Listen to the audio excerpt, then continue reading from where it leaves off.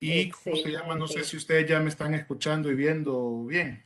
Ya lo podemos ver, lo podemos escuchar. Entonces, sí, formalmente podemos iniciar este conversatorio. Voy a estar por acá dándole apoyo en todo lo que necesites e incluso si surgiera alguna consulta que yo quisiera hacer también. Entonces, ahora sí, Darío, buenos días, bienvenido. Buenos días, ¿me escuchan bien? Le escuchamos, Darío.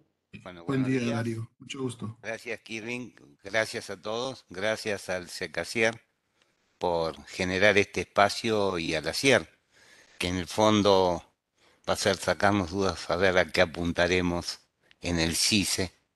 ¿sí? Y la Lisa, muy insistidora, me pidió que esto lo podamos hacer como una actividad paralela. Así que abierto a preguntas, a contar historias. Como verán, y ya dijo, Kirvin tiene una, una ventaja, es mucho más joven que yo.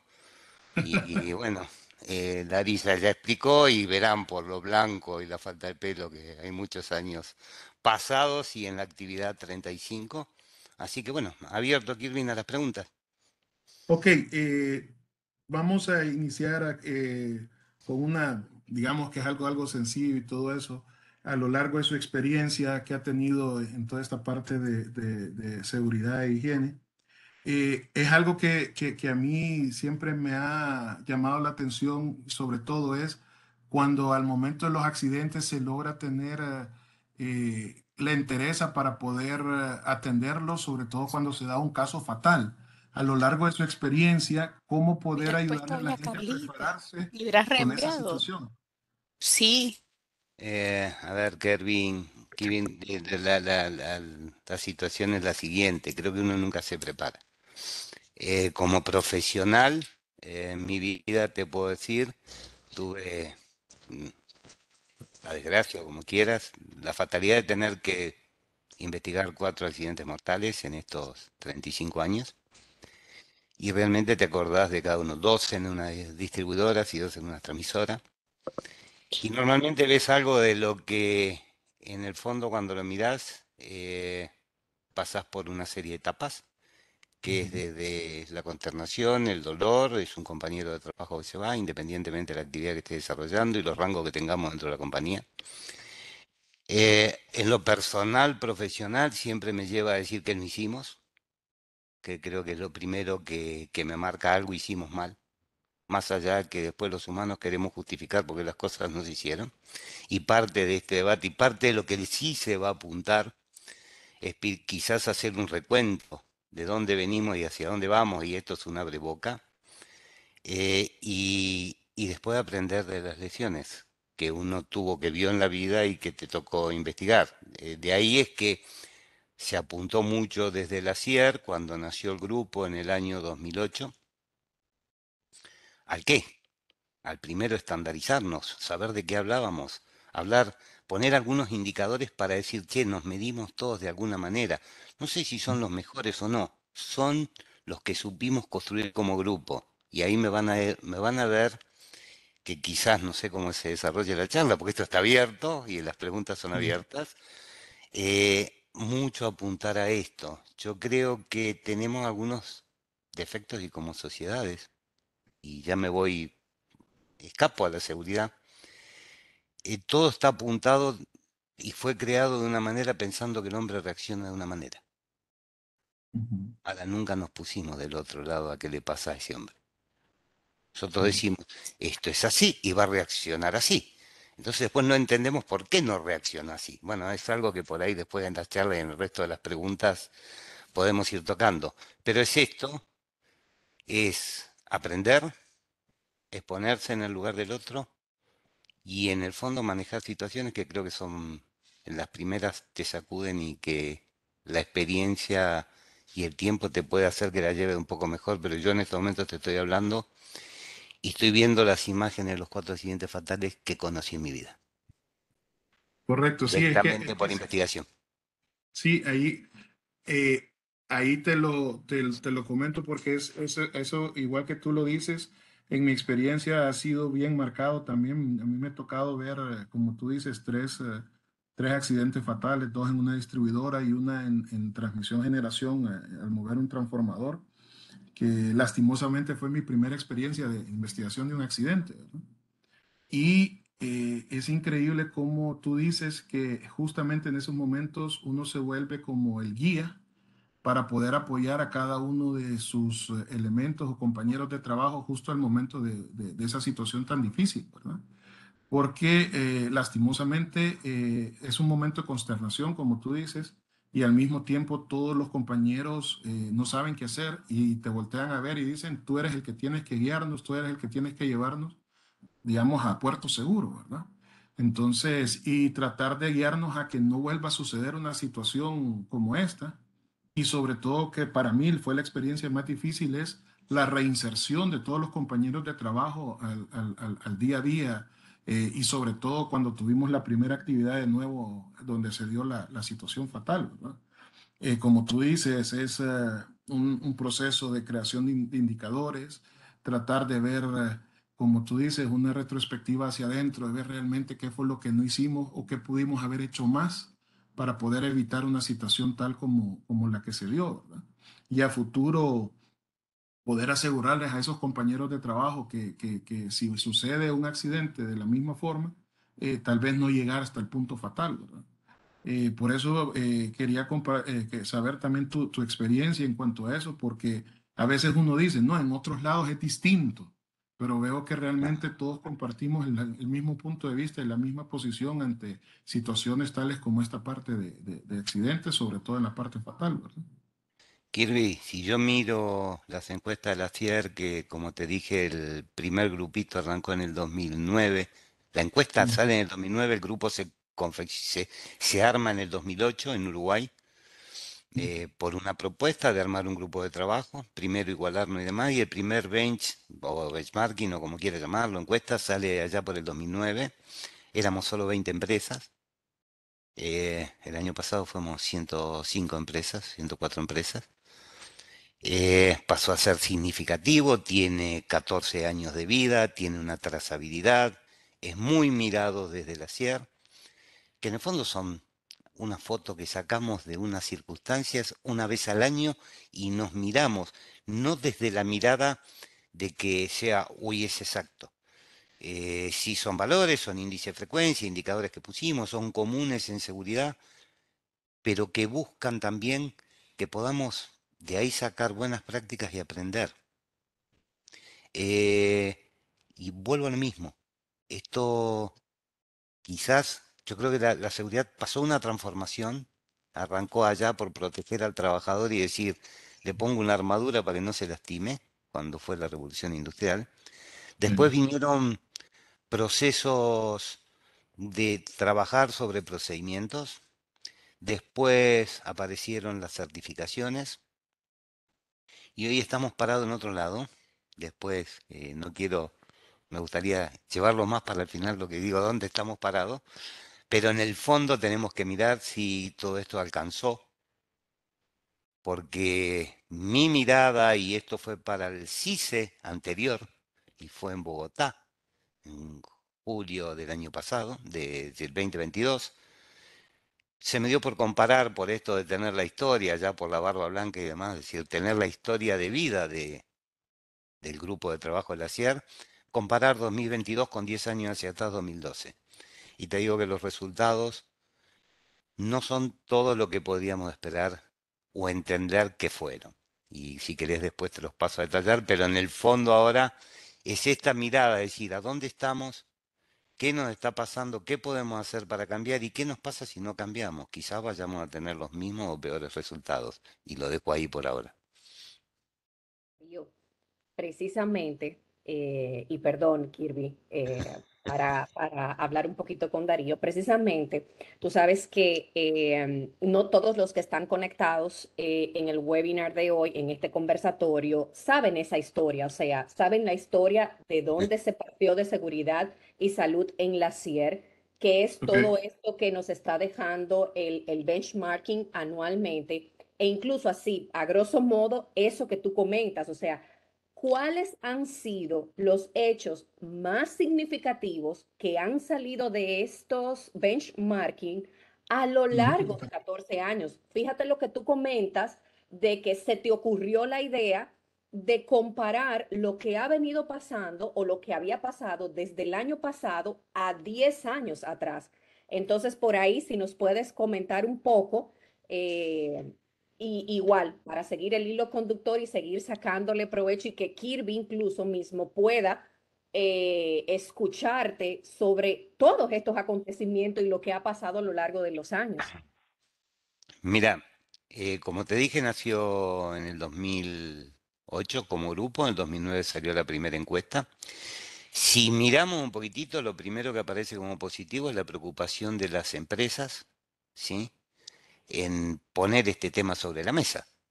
Eh, sabemos realmente que que algunas empresas, bueno, otras actividades pueden aparecer muy aparente en que quieran hacerlo o no, pero esto ponerlo, hacer un trabajo serio, un trabajo de investigación, donde todas ponen sus datos, trabajan fuertemente, fíjate que hay una tan está todo el mercado eléctrico porque hay generación, transmisión y distribución, está agrupada por tipo de actividad donde las comparaciones dan y hay, hechos relevantes. Si hoy mira eh, uno el bench o la muestra esta, eh, tanto generación como las integrales, un 40% de las, del personal que tienen son contratistas. Después, cuando vamos a distribución y a transmisión, distribución tiene un 60% de personal contratista y transmisión un 76%, o sea, estamos en un promedio de un 70%. Con lo que decimos que más del 50% de, del personal que trabajamos es contratista. ¿Sí? que trabaja en nuestras compañías. Y el futuro sabemos que apunta a que haya cada vez más contratistas. Como positivo, porque después voy a volver a tocar este tema, está que el 96% tiene, lleva índices de desempeño o indicadores de desempeño. Que el 73% de las empresas tienen algún sistema de gestión.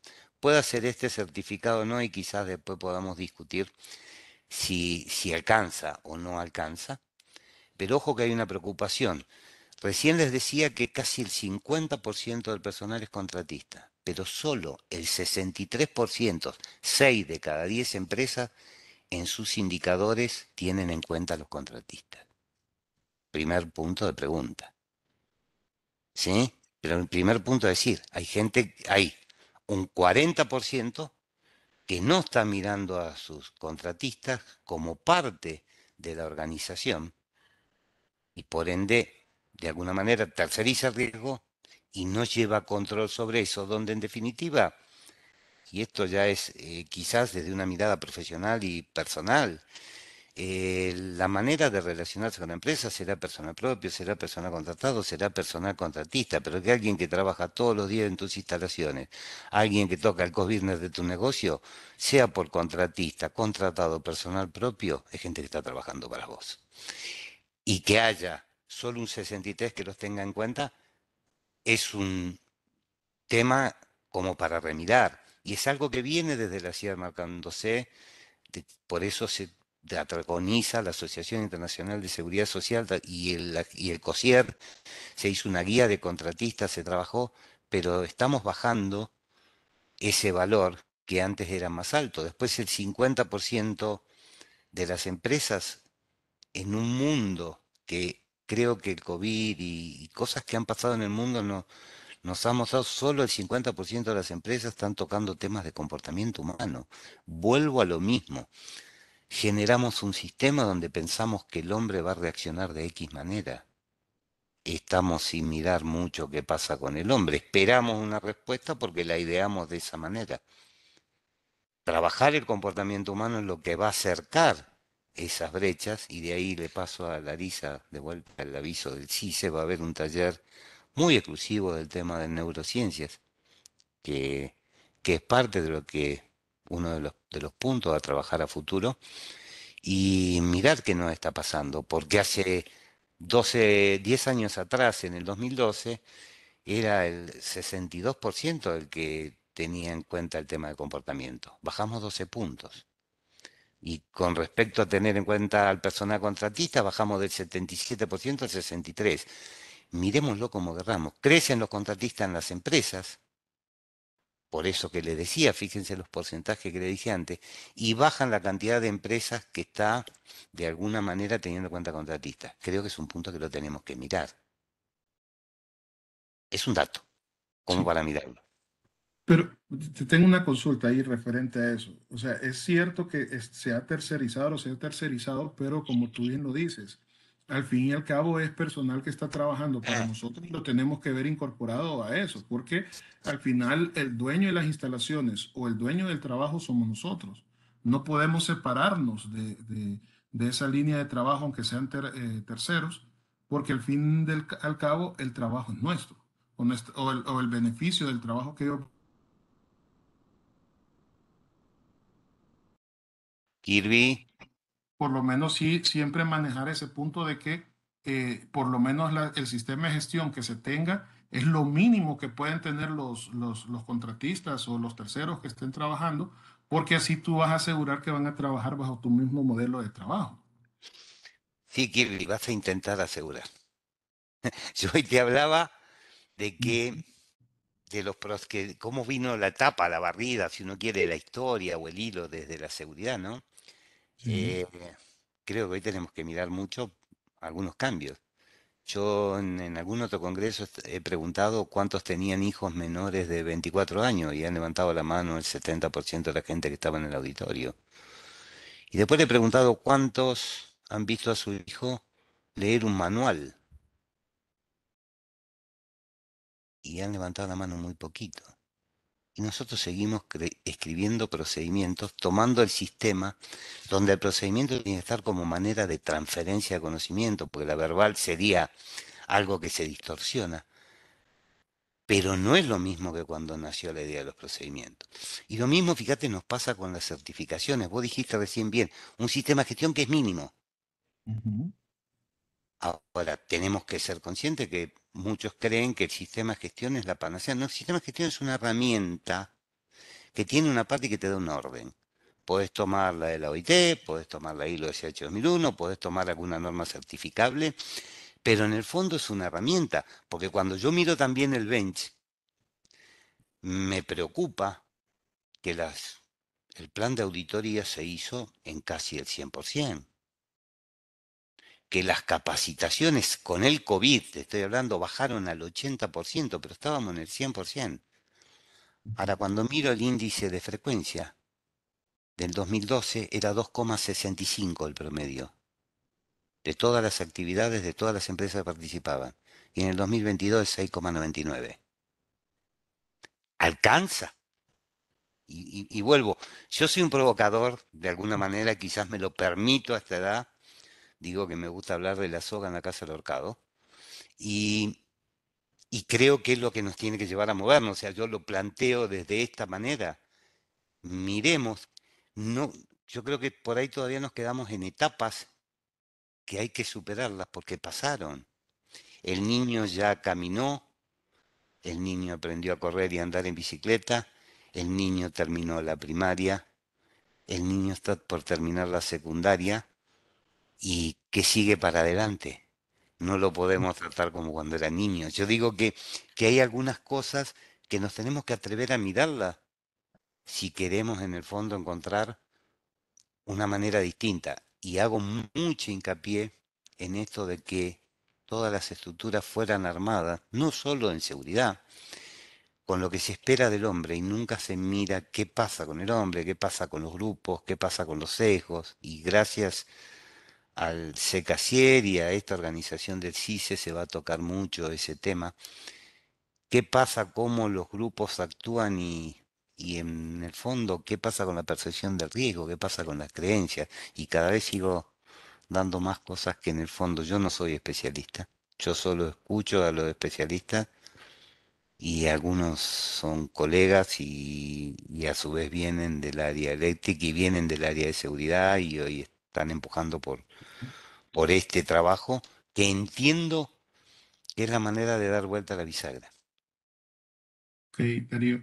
Y entonces, basado en eso, ¿cuál crees tú que debería ser el, el, camino que deberíamos de tomar o bajo qué ejes deberíamos de estructurar esa mirada al futuro en virtud a la perspectiva que nos has mostrado de cómo estamos parados hoy? A ver, yo creo que primero lo primero que tenemos que hacer es sincerarnos. Podrán compartir o no, mirarlos para adentro, tener un momento de reflexión y sincerar que a esto es lo que llegamos, que logramos un montón. Porque en el fondo, eh, si bien eh, los accidentes fatales han bajado eh, un poco, no tanto, del 2,6% año 2012 al 1,8% en el año 22, sí preocupa la subida de los índices de frecuencia, que vemos que no alcanza con capacitar, pero creo que tenemos que apuntar, primero a sincerarnos, atrevernos que hay paradigmas que tenemos que cambiar. Quizás eh, en esto apunto muy claramente a crear creencias comunes, a ver la percepción de riesgo, a trabajar con los grupos. Creo que estamos muy acostumbrados, y acá hago el mea culpa de lo profesional, ¿eh? a estandarizar a todos los grupos lo mismo. Y si yo no miro el grupo con su identidad, y quizás lo que tengo que tener es apuntar a estrategias, que, el objetivo sea el mismo y que las estrategias sean distintas en función de los grupos. Y ahí es donde se trabaja con la percepción de riesgo. Uno da, y por eso, pues esto lo hablábamos también con la gente de la Asociación Internacional de Seguridad Social, eh, les pasa lo mismo, le está pasando lo mismo en Alemania que nos está pasando en Latinoamérica. O sea, esto no es que es exclusivo, no estoy hablando de un país, esto es, generalizado. La gente, me decía Jens, de ISA me decía muy claro en, en, alguna de nuestras charlas, eh, Darío, la gente sabe lo que tiene que hacer, y yo le digo, crees que sabe lo que tiene que hacer, y igual lo hace, se equivoca, hace, actúa de otra manera y se accidenta. Oh, le vamos a tener que poner psicólogo. No, hay que empezar a trabajar sobre el tema de las neurociencias porque hay que crear creencias que sean comunes. Quizás creemos que vos podés tener tus experiencias y yo las mías, y si no trabajamos y tenemos puntos comunes sobre los que creamos que, que se basa la prevención, raramente podamos de alguna manera crecer y sacar esto. Lo que se llaman, a ver, y vuelvo a, esta colega que va a estar en el, en, el Congreso CICE, y no quiero adelantarme por conocer la cosa, pero es una brecha, hay una, hay una brecha hay que achicar la brecha entre lo que se llama seguridad manifestada y seguridad practicada. Es como si fueran dos palitos que hay que acercarlos, porque hay una realidad. Las certificaciones y demás, eh, y esto ya también entra parte de opinión personal, nos llevan a muy mirar la, la seguridad manifestada y cuánto de eso si realmente es en la práctica, más allá de la foto, de las auditorías. Si fuera tan bien en función de lo que uno ve los resultados de esto, entendería que los, los resultados finales serían distintos. Entonces habría que apuntar fuertemente a eso, achicar esa brecha, a la participación real de los trabajadores y poder tener plasticidad, ser un poco menos rígidos en que sea café con leche para todo el mundo. A algunos les gusta el tinto, como en Colombia, el tinto en Argentina es vino, se nos generan unos conflictos, pero que, que cada poder trabajar con recetas más ajustadas con cada grupo, una real participación de los trabajadores, reconocer que también parte de las normas nos llevó a creer que capacitar es que alguien hable y que un montón de gente escuche y creo que hay que volver a los orígenes, que es capacitar, en lugar de capacitar, es capacitar y entrenar, que no es lo mismo. Porque para que la gente genere hábitos tiene que haber entrenamiento. Y ya no me voy a meter en el tema de neurociencias, pero me aparece las conexiones para reemplazar un hábito, las conexiones neuronales tienen que ser similares. Si yo tengo un canal, un caño muy grueso de conexión con un hábito raramente lo reemplace por otro, los, hábitos no se cambian, se reemplazan. Entonces, si uno mira a través del entrenamiento lo puedo hacer, si no tengo entrenamiento me quedo en una partecita que quienes miraron la, pirámide del conocimiento es la más débil de todas. Y normalmente, como las certificaciones y demás, te dicen se capacitó y pasamos a tener un tilde. Creo que es algo que también tenemos que mirar tener la capacidad de salir de esos paradigmas y reformular la manera de evaluar riesgos. Si me decís, mi mirada grupal, de, lo que veo en el resto de Latinoamérica, las maneras de evaluar riesgo muchas veces se apuntan a esto que decimos, se espera que la gente lo haga de tal manera, lo hace algún grupo de notables y hay menor participación. Y de esta manera, si yo te digo hay que reformular la manera de hacerlo con mucha participación para que de esa manera se pueda trabajar sobre lo que son eh, lo que es la percepción de riesgo y realmente sea aplicable y no una plantilla hermosa de una evaluación de riesgo que después uno cuando hace o va a ver algunas cuestiones puntuales descubre que esta, entre lo manifestado y lo practicado hay una brecha muy grande. Y por otro lado también remirar el rol de nuestros, de nosotros los prevencionistas. Desde una mirada más de, humanizar el trabajo que del estricto cumplimiento de un punto de una norma. Sí, yo, yo creo, y ahí, ahí quería apoyarte en eso, Darío, que al final del día nosotros eh, tenemos esos estándares o esas herramientas o ese sistema de gestión como la guía, pero al final nosotros en la parte de prevención debemos de eh, domesticarla o ajustarla realmente a nuestra práctica a nuestra vida diaria y a nuestras eh, áreas de trabajo, en el sentido de que eh, los compañeros de trabajo la adopten como una cultura de trabajo y al mismo tiempo nos vean como un apoyo y no como un enemigo al momento de que solo estamos aplicando la normativa, sino que ellos lo vean y lo adquieran como que esa normativa al final del día les va a ayudar a poder evitar cualquier lesión que al final del día los expuestos al, a, los riesgos son ellos, ¿verdad? Porque ellos son los que se enfrentan el día a día, cada momento, al trabajo y, al, al riesgo. Nosotros realmente solo damos los lineamientos tratando de evitar o poder apoyarlos en el sentido de que cada uno de esos riesgos están analizados y eh, buscando la mitigación de cualquiera de esas situaciones a través de procedimientos seguros de trabajo.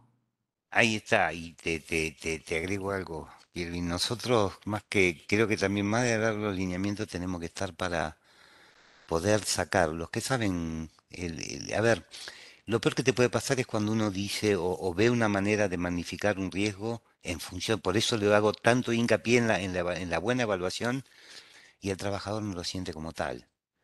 Y si nosotros no logramos sacar eso, porque en el fondo somos transmisores, nosotros tomamos lo que dice el que pone el cuerpo y trabaja todos los días y lo intentamos transformar en algo que se pueda transmitir. Eh, es la manera en que creo que tenemos que trabajar con mayor participación, porque al fin del día, si no terminamos, eh, ¿cómo lo digo? Sí, eh, intentando cumplir una norma cuando en el fondo nos olvidamos que lo que tenemos que hacer es prevención. Hay una palabra que nos olvidamos por esto de tanta gestión, que es prevención.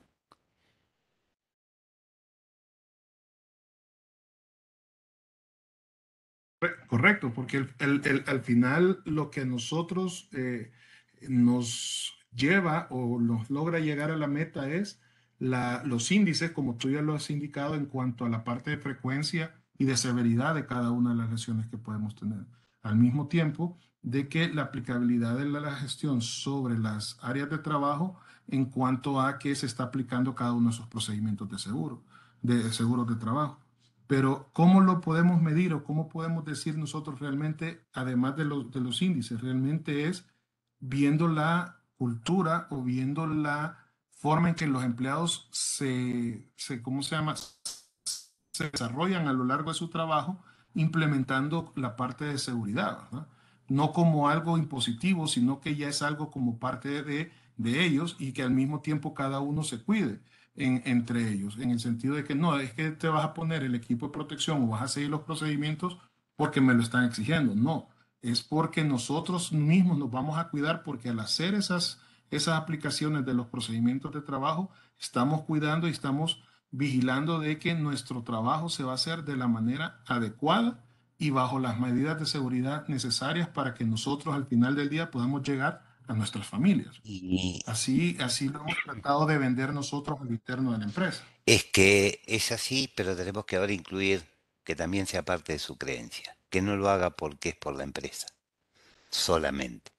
O sea, cuando una cultura se desarrolla, y esto lleva tiempo, lleva tiempo, pero en el fondo, cuando una cultura se va desarrollando, se va a ir haciendo en función de hábitos seguros. Yo le preguntaría un montón de los que están eh, ahora conectados, eh, ¿cuántos usan el cinturón de seguridad en el vehículo? ¿Qué le pasa cuando no se pone el cinturón? Te falta algo. Ese es un hábito. Es una conexión directa que te genera un hábito. Si nosotros logramos que eh, tomamos alrededor de cuatro mil y pico de, decisiones diarias que no son eh, racionales, eh, son, son automáticas y muy pocas son de alguna manera entre lo racional y lo emocional las que te dejan actuar y demás. Si nosotros logramos que todas estas decisiones que se toman de manera automática se vayan apoyando sobre hábitos seguros, seguramente vas a ir bajando el rango de riesgo. Te exposición al riesgo desde lo conductual, desde la persona. Pero para eso hay que mirar a la persona. Vuelvo a lo mismo y aparte de lo que dije en el origen, o cuando empezamos hoy hace un ratito, que es cambiar el paradigma de la mirada. Nosotros estábamos muy pensados en mirar en función de lo que creíamos que la gente iba a responder. Y la realidad ha mostrado que no es tan así en otros órdenes. Eh, fíjate que el mundo empezó a hablar de de, algo de neurociencia aplicada en el comportamiento sobre sistemas netamente económicos. Europa quería, eh, o sea, pensaba que la gente pensaba que iba a cambiar su servicio eléctrico en función del costo hasta de manera mensual. Iba a contratar y de ahí se había armado todo un andamiaje pensando de que las empresas tenían que cambiar la manera de comercializar energía. Cuando lo preguntaron a la gente, eso a la gente no le interesaba. Y alguien que que, hace políticas públicas, explicó claramente que cuando vos podés crear la mejor política pública, pero si no mirás el andamiaje del grupo donde va a eh, aplicarse esa política pública, si en ellos no es creencia, no hay manera de que la adopten, aunque tengan la mejor. O sea, ahí es donde me atrevo a cuestionar y vuelvo a lo mismo. Lo que busco es despertar desde la reflexión y en el sí sé por ahí aprovechar para discutir más a fondo estos puntos y sacarnos, llevarnos algunas herramientas que sean claras, más allá de las que creo que hay que trabajar. Vuelvo a lo mismo, entrenar más y capacitación sea parte del entrenamiento. Atrevernos a cambiar el paradigma y mirar, cambiando el enfoque y con una mirada desde el otro lado de la neurociencia y la participación de los trabajadores. Una de las críticas que salió fuertemente y muy clara en el último CICE y que en este se va a ver participación sindical, es la mirada desde el otro. Nos juntamos todos desde empresa y nos felicitamos diciendo que bien nos va. ¿Alguna vez entre podemos que alguien se presente y nos diga cómo nos ve?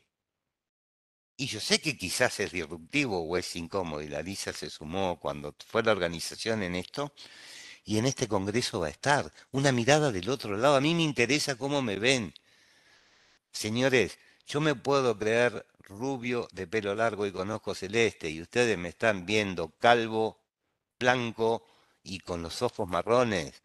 No es lo que yo me crea. Yo soy lo que me ven o lo que ustedes creen de lo que yo estoy haciendo. Esto llevado a la seguridad es lo que va a apuntar al cambio. Si no, vamos a seguir teniendo, creo que, los mismos resultados. Que no son, no son malos, porque ¿de dónde venimos? De que había que poner la mano en el hombro y hablar con la gente para eh, que la gente use los elementos de seguridad. Yo que soy antiguo, por no decir viejo, eso les digo, ahí empezó. Cuando la gente usaba, no usaba ni calzado de seguridad, usaba zapatillas. Estamos de acuerdo y no usaba ningún elemento. Lo usaba cuando veían venir el supervisor. Desde ahí se creció. Hay un montón de cosas que no se discuten, pero hay que volver a poner la mano en el hombro. Primero porque ha cambiado la edad promedio de, en las empresas.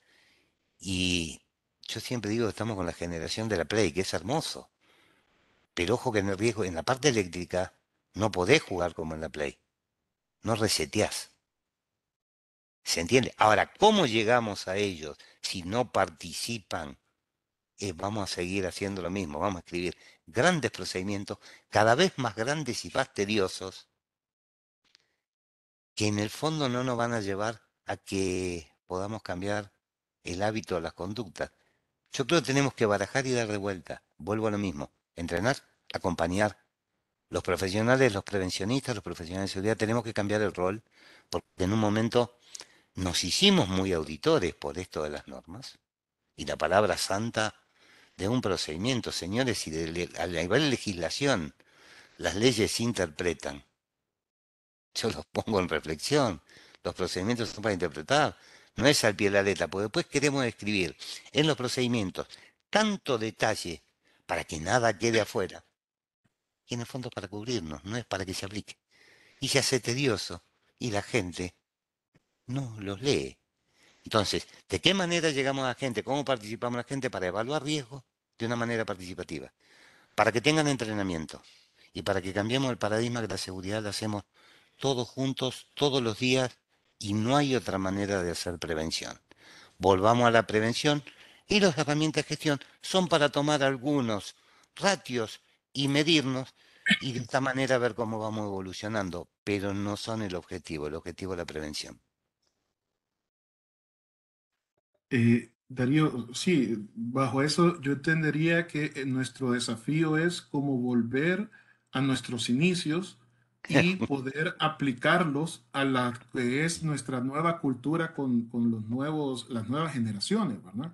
Básicamente eso entendería yo que es eh, poder volver a lo práctico bajo los procedimientos seguros que se han ido creando o estandarizarlos, pero que realmente sean adoptados bajo su cultura, bajo su eh, parte íntegra de cada uno de los empleados. Eh, ¿Estoy entendiendo bien o...? Eh, totalmente de acuerdo, Kirvin. Es reformular y dar de vuelta. Sí, mira, el fin del, de mi presentación en el Congreso anterior fue una, una canción de un cantautor argentino que era Alejandro Lerner, de volver a empezar. Es pararnos, mirarnos y volver a empezar. Sí. Porque hubo cambios. ¿Sabés qué pasó? La generación que acompañó todo el proceso desde los procedimientos, las certificaciones y demás, es parte de la generación que se está bajando. Y los jóvenes que ingresaron no subieron al tren en la primera estación, subieron en algunas pocas que pasaron. No tienen parte de la historia. Y se la tenés, tenemos que empezar a los por qué, lo básico de vuelta que te digo, de esta manera, ayunado a lo que soy. No es como era antes. Entonces, es tomar los valores, como dijiste, volver al inicio de la prevención. Y la gestión es parte, sí, es una herramienta. Y si uno mira visión cero, y para, para hacerlo corto, de, que es una estrategia en el fondo, tiene siete reglas, donde de las dos a las seis son parte de gestión, pero hay dos que se diferencian grande. La una que es liderazgo. Y podemos discutir y armar una charla de otras dos horas o tres horas cuando quieras, de liderazgo. Y la última es participación de los trabajadores, que es parte de lo que te estoy marcando. Pero participación, vuelvo a lo mismo. No es invitar en la mesa a los que vengan y digan que yo tengo el pelo largo, porque me encanta que me lo digan. Quiero ser claro con eso. Es participación activa y es participación real. Temen una oportunidad y, perdón que les corte la inspiración, pero tenemos preguntas en el chat que es bueno ir agotando. Entonces, eh, aquí les pregunto, eh, tengo, eso de entrenar y acompañar se requiere recurso humano. ¿Qué estrategia nos recomienda para que los directivos aumente el recurso humano en los departamentos de gestión de SST? Bien, ¿Qué recomiendo? Mostrar la realidad.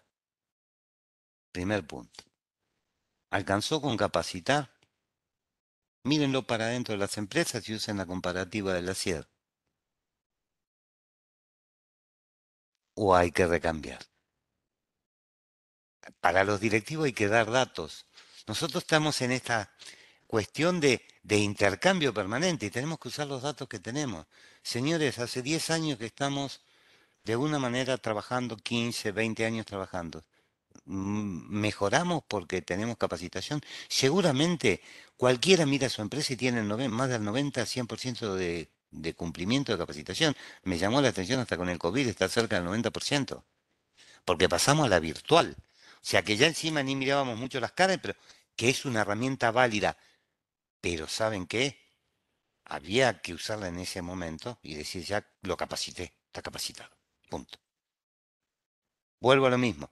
La estrategia es analizar el tema, ver qué les pasó a cada compañía dentro y apuntar a que el entrenamiento, cuando uno mide la mira la pirámide de conocimiento, si mal no recuerdo, y perdónenme porque a veces se me corre el coágulo por la edad, entonces le quiero decir algo que es muy claro, si mal no recuerdo era el 5% que daba frente a una presentación de una capacitación formal, alguien habla y un montón que escuchan, y cerca del 90% que daba cuando estaba entrenado en.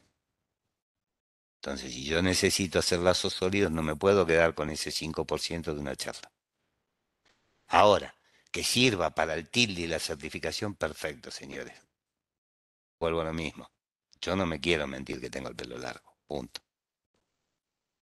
Sí, yo creo que ahí también eh, podemos agregar algo que, se estaba mencionando en cuanto a la parte de que los directivos eh, reaccionan más a la parte de números ver y hacerles mostrar la, parte de la relación de cuánto es lo que nosotros eh, invertimos en la situación de atenciones de accidentes o de daños dentro de nuestro equipo versus a lo que podemos invertir en la parte de entrenamiento y capacitación para poder reducir esos índices y esos costos que al final del día es lo que más les interesa a ellos de bajar eh, su, su, ¿cómo se llama?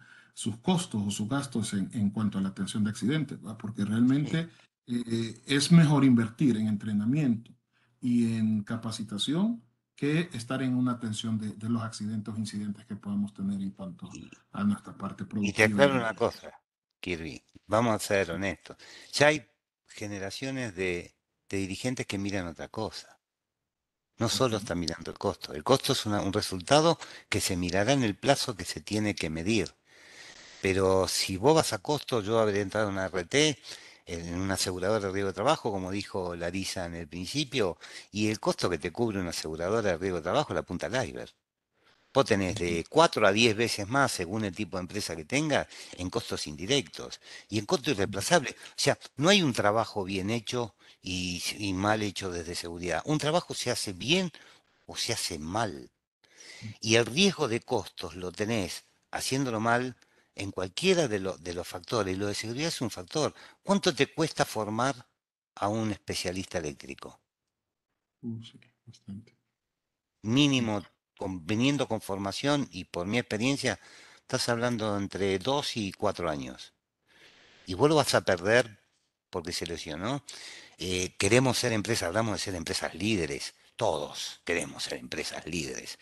Y yo no conozco empresa líder formada por lesionados laborales. Por favor, muéstremela. Entonces, hay cambios en los directivos, en algunas empresas. Empieza a haber cambios de este tipo. No es solo mirar. Miren, si fuera tan fácil de mirar la ecuación económica y llevo a la reflexión, y perdóname la risa corta, así puedes seguir con las preguntas, pero si fuera tan fácil como mirar el tema económico, eh, y ahora hablo de mi país, sería fácil resolver el problema económico de Argentina. Dejemos de comer seis meses. Los que sobrevivan van a estar bárbaros. O sea, quiero que me entiendan. ¿Y a dónde lo llevo? Y sé que soy provocador, perdón, Larisa. Lo llevo de esta manera para poner las contrapuntos. ¿Qué es económico? Saben que cuando se armó esto de la CIER, medio ambiente y, seguridad, apuntaba a trabajar en el equilibrio para, lo que era responsabilidad social empresaria. Dos de los pilares son estos. Que una empresa puede ganar mucha plata por un corto periodo de tiempo, pero socialmente un desastre. ¿Qué vamos a hacer? Vamos a decir que somos responsables, ah, responsabilidad social empresaria hacia afuera porque pintamos una escuela y los trabajadores que vienen adentro se mueren y, o lo que sacamos para afuera los contamina me parece que no tenía sentido si no era un equilibrio. Entonces, eh, creo que la estrategia es primero eh, decir la verdad. ¿Dónde estamos parados? Analizar datos. Los datos hoy son fundamentales, tener datos. Y apuntar a un cambio de cultura. Y lo que yo llamo humanizar el trabajo. Darisa, te dejo porque si no, No. No va a agarrar la tarde, yo no tengo problema, pero... No, yo sé que no, que estos temas a usted lo apasiona, Darío. Mire, nos pregunta Jimmy Morales, ¿de qué forma garantizamos transformar un sistema de salud y seguridad en el trabajo que es reactivo a un sistema interdependiente? Ay, qué tra- decirle que es duro. Es el único camino. eh, llevarlo a un, a un sistema interdependiente. Lo que pasa, ¿sabes qué? El ser humano, el cerebro vago. Eh, vago de, no sé cómo dicen ustedes, pero fiaca, no sé, eh, eh, no, no quiere trabajar mucho. Entonces va y busca reacciones automáticas. Lo traigo y luego, porque las neuronas, si no las conexiones, requieren energía. Y uno, uno lo mira y esta transformación es porque es muy cómodo que venga el otro y me diga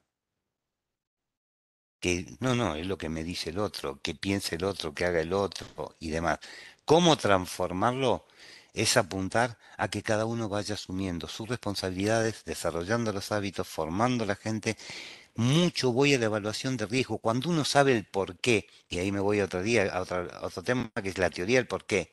Si yo sé por qué hago algo, seguramente no voy a dejar de hacerlo cuando entiendo el por qué.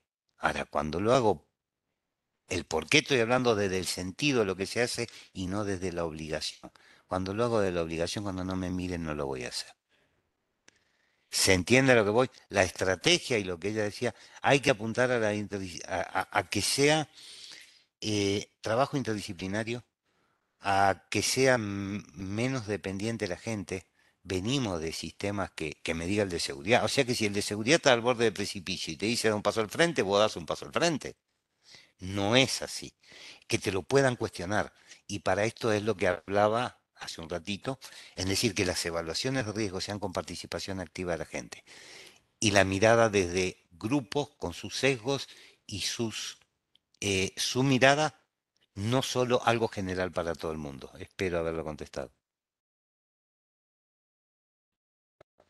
Darío, mira, te confieso que yo soy una que estoy esperando, pero así, el seminario y específicamente lo del taller de neurociencia, porque muchos eh, nos preguntan, pero una jornada completa, una tarde completa con neurociencia, ¿qué, ¿cómo es esto? ¿Qué, ¿Cómo está relacionado?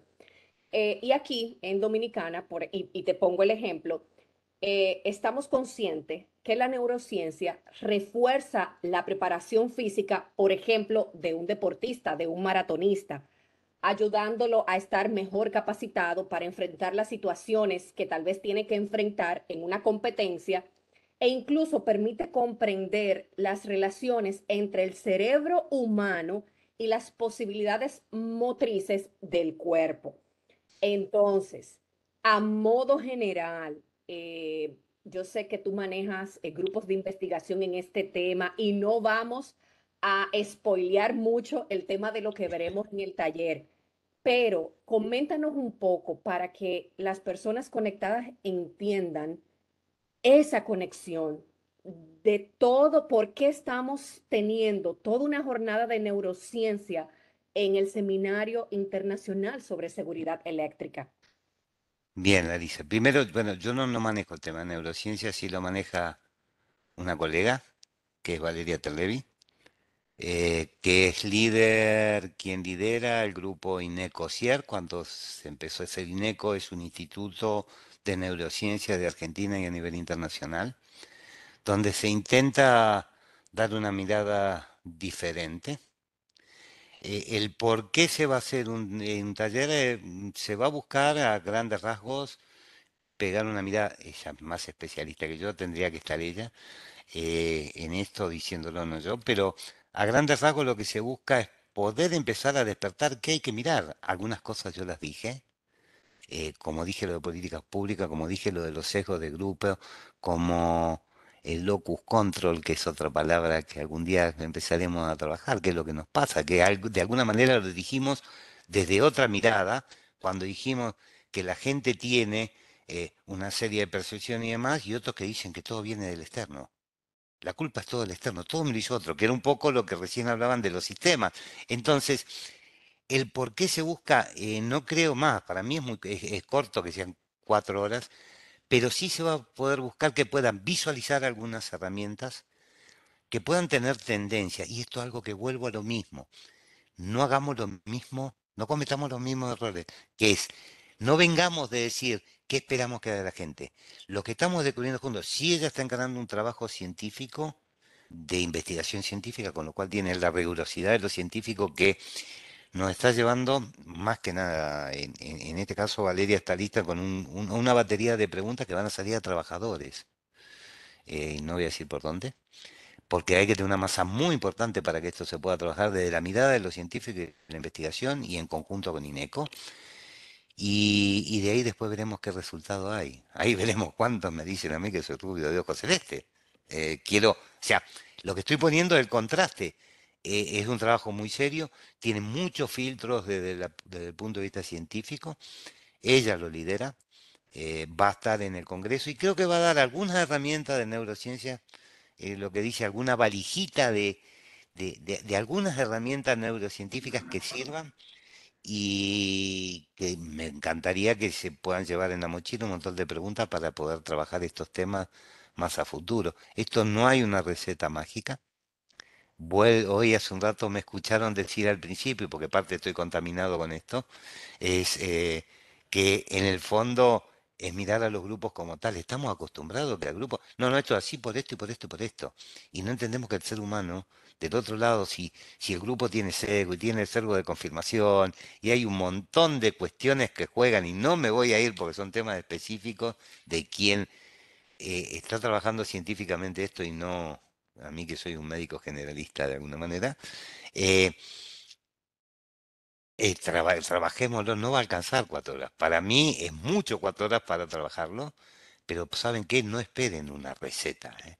No esperen 50 slides o 70 slides y alguien que recite. Van a tener que trabajar de alguna manera porque lo que se buscaba era eso. Y la idea es que haya ciertas experiencias que nos hagan reflexionar. Eso es un poquitito la idea. No voy a contar más nada, la Lisa, porque si no, pero que está apuntando a eso. A que empecemos a introducir el tema. El primer congreso que se habló de esto fue el anterior. Y si ustedes miran, es una mirada más evolucionada y más científica de lo que antiguamente era, se hablaba del comportamiento y perdóname Larisa, hago 30 segundos más. Eh, yo empecé con el comportamiento en el año 2003, pero estaba mirado de la misma manera que mirábamos el resto del lado de la ingeniería. Se hacían observaciones y en función de la observación se corregía. Listo, para todo el mundo lo mismo, volvemos a lo mismo, el individuo y cómo nos ven del otro lado. Señores, no hay que patear las puertas que el ser humano tiene adentro. Hay que abrirlas y trabajarlas juntos. Si ese es, ese es en fondo el mensaje, para que lograr que él, que pueda generar hábitos, creencias comunes, y cuando a la gente le pasan esas cositas de tener creencias comunes, raramente hago algo que está en contra de sus creencias. No sé, Larisa, si te contesté de alguna manera lo que me planteaste. Mejor de ahí se daña, decimos por aquí. Ah, bueno. Yo no tengo más preguntas en el chat. Eh, Kirby, no sé si tú tienes alguna otra pregunta para Darío.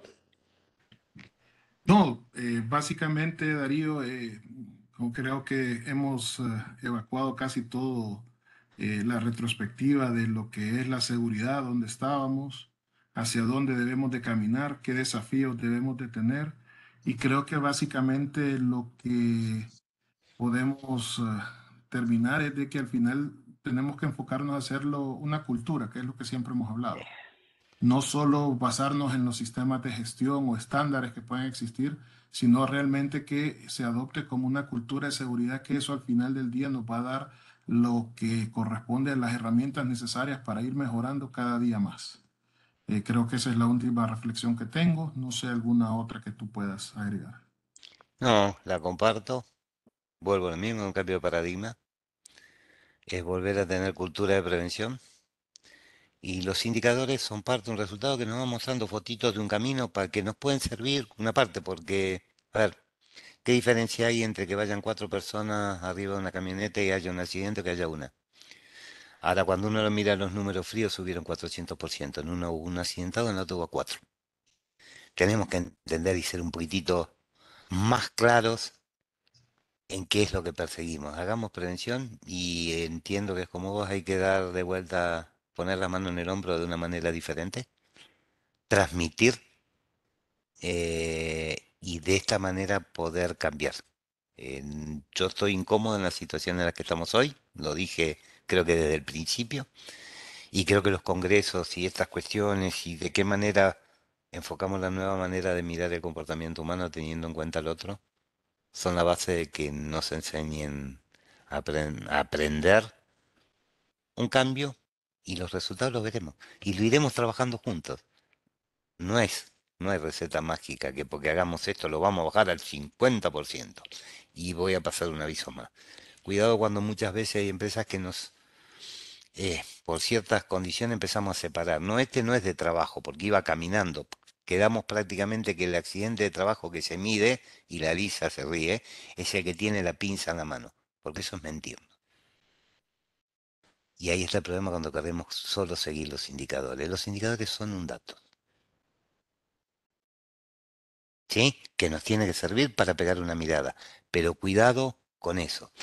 Hay nuevas normas que dan vuelta, como la olla 300 y demás. No, bárbaro, la aplican. Y sí, primero auxilio no se contabiliza. Cinco puntos en un dedo, perdónenme, no es primero auxilio. ¿Se entiende lo que quiero decir? ¿A qué apunto? Así que bueno, yo de mi parte estoy abierto a si hay más preguntas, pero realmente agradezco, agradezco el espacio.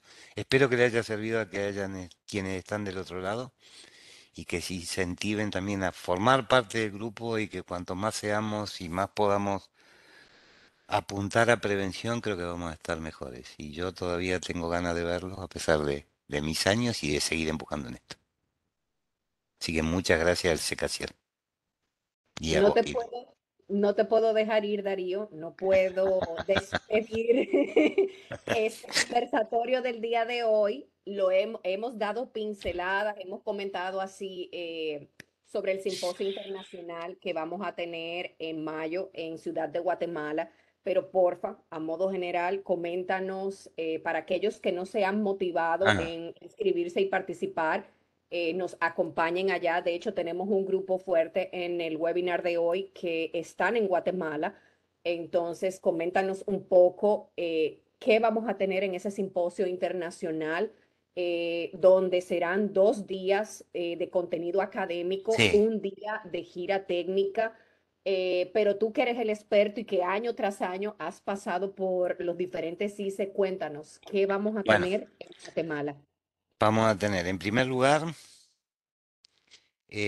una mirada desde la Asociación Internacional de Seguridad Social, desde parte de, aplicaciones de, nueva tecnología, parte de Visión Cero, que Visión Cero es una estrategia, señores, para quienes están del otro lado, no es certificable, no hace falta certificar nada, nos está llevando a una estrategia que nos puede ayudar a cambiar esta cultura de seguridad.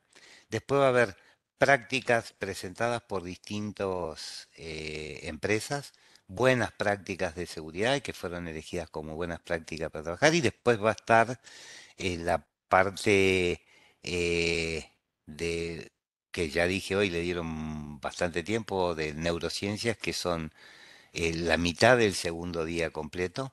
Las experiencias de Alemania son muy ricas, vienen a diferencia de otra va a haber una mirada de, de lo que es el trabajador alemán, y va a haber una mirada de un sindicalista que es argentino que, trabaja en conjunto conmigo. En el fondo, yo hace muchos años que defiendo la gestión de la OIT, la ILO SH 2001, y digo porque los sindicalistas, no elijo yo quien venga a la mesa a sentarte, como decía hoy, por el pelo y demás, sino quien eligen ellos, los trabajadores.